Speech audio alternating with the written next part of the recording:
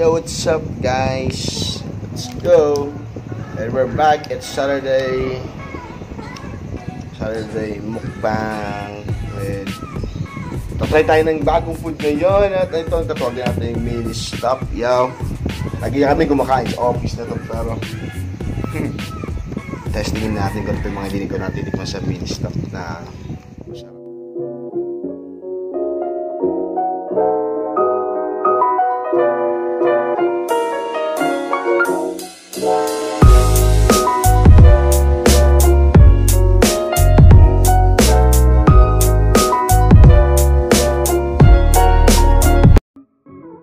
natin titikman. May kagat na pala. Ito yung kariman. At tuna flavor to eh. Kinagatan niya na. Unang kagat daw niya, tinapay lahat. More on bread daw. eh.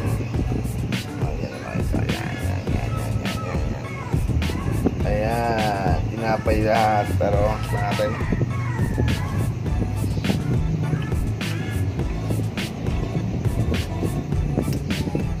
Mataba to. Parang ako. Parang naman niya tuna. Ayan. Gitna lang lahat.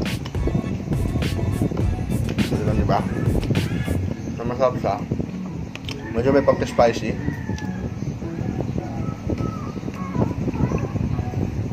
Ba masarap.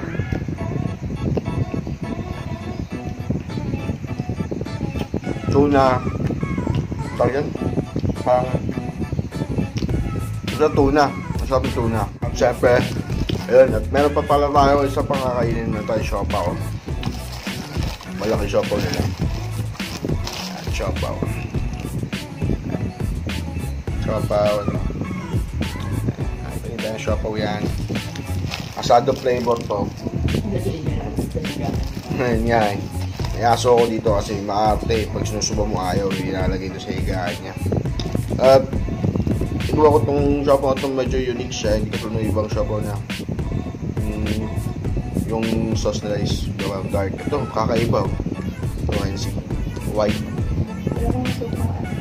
Yun yung kala, suka daw. At ayun. Pa natin. Asado flavor to. Dahil wala nang ibang yung yung bola-bola na agawan tayo ni yung ano, yung bumalik kanina naunahan tayo pero carry lang. Up. Ayan.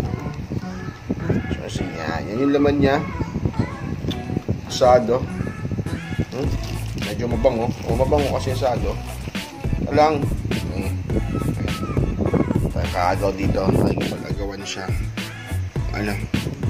Nanonood daw siya. Nanonood. Nanonood daw siya. Nanonood. Ayan. Siopaw asado. Ano natin?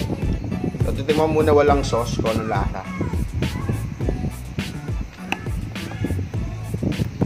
Matabang. Matabang. Medyo dry. Saka yung tinapay, nadudurog agad. Kasi sa siopaw gusto ko yung ano eh, yung siksik yung laman. Yung paborito ko sa kowloon. Yun. Legit yun, promise. Matin yung sauce niya. Pinakaka intrigang sauce. What's with the sauce? Yung lasa. At konti muna.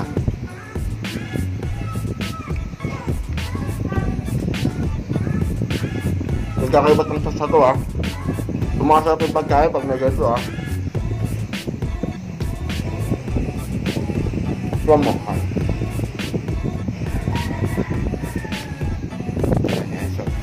May siopaw na may sauce. Ano masasabi mo?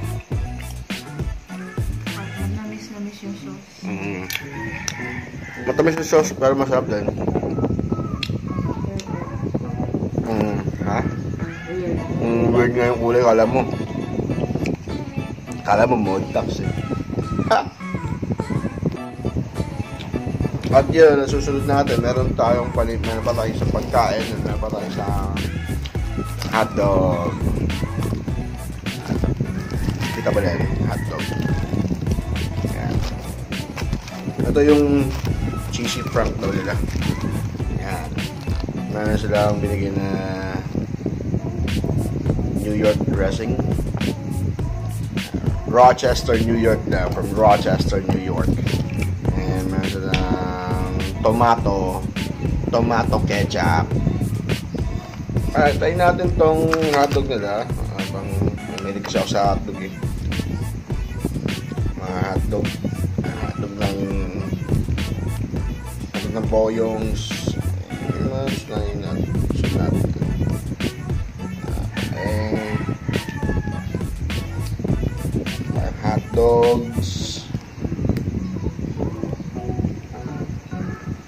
maubos ko to.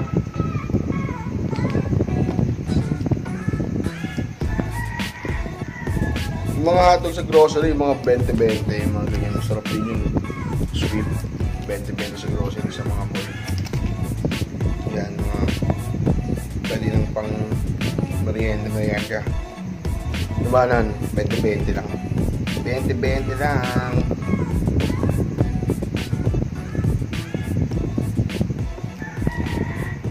Matagal. Okay. Hotdog. Try natin. Hotdog, man.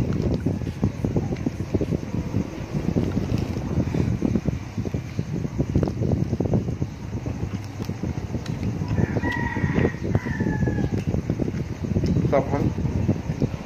Medyo matamis-tamis din.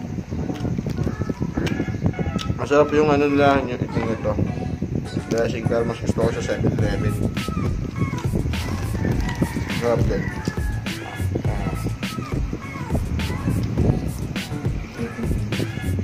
Ayun nga po, hindi na namin naubos na lahat to. I mean, kakainin namin lahat. Yung chicken, yun naman, alam niyo na yung chicken about dito. About chicken ng pinistap. It's Uncle John's Chicken. Tikman ko lang dahil ano, ka kakain muna namin ng ito, kakain na namin itong mga to. Hindi kami nakakain ng kanin ito pate. Ito, yung balat pa lang, solid na. Masarap. Pero, balat, ang galaman, masarap. Panlaban sa Jollibee to, pero mas gusto ko to. Kasi minsan, malaki chicken nila. Kaso, takay na, isang beses kumain kami yan, nabungi ako dahil sa sobrang crunchy ng chicken. Nabungi yung isang ngipin ko. Nabutas. Oh, sabi ko ayoko na kumain. Yun nga pa, meron pa kami isang, isang gusto gusto ko yung paborito yung pork chop nga nila. Sarap yung pork chop nila. Sulit, 75 pesos lang. Tapos, yun lang. So, amang... So, susulit, yan natin kung ano yung bago i-upload natin at meron tayong iba pang mga kakaining pagkain. At nga pala wag po akong kakalimutan i-subscribe sa YouTube Nestle Pascual on YouTube Nestle Pascual on Facebook Nestle071 on Instagram and follow me please like and share and subscribe